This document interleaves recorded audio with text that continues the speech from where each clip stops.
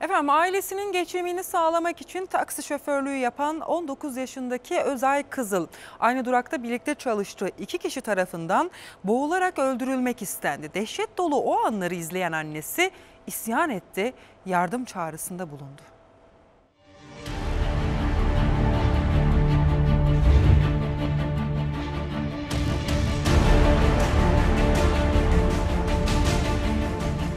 Ben çocuğum alın teri getirir derken benim çocuğum kan teri getiriyormuş. Ben görüntüleri izledikçe içim parçalandı. Bir anne olarak lütfen Taksi durağında çalışarak ailesinin geçimini sağlayan gence cehennemi yaşattılar. Özay Kızıl'ı dövüp annesini tehdit ettiler.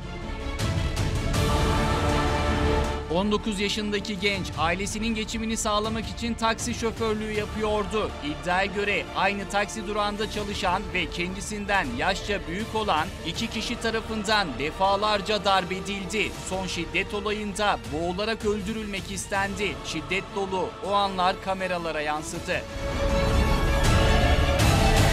Daha önce de üç kez yapılmış çocuğuma aynı kişiler tarafından. Oğlunun şiddete maruz kaldığını kendisine ulaştırılan güvenlik kamerası görüntüleriyle öğrenen anne Özlem Ak beyninden vurulmuşa döndü. Benim çocuğum korkuyor. Neyle tehdit ediliyor bilmiyorum. Benim çocuğum küçüklüğünden beri çalışıp bize bakan iki kız kardeşi var. Yetkililere yardım çağrısında bulunan anne oğlunun yaşamından endişe ediyor. Benim çocuğum bundan iki yıl önce motor kazası geçirdi. İki kere beyin ameliyatı oldu.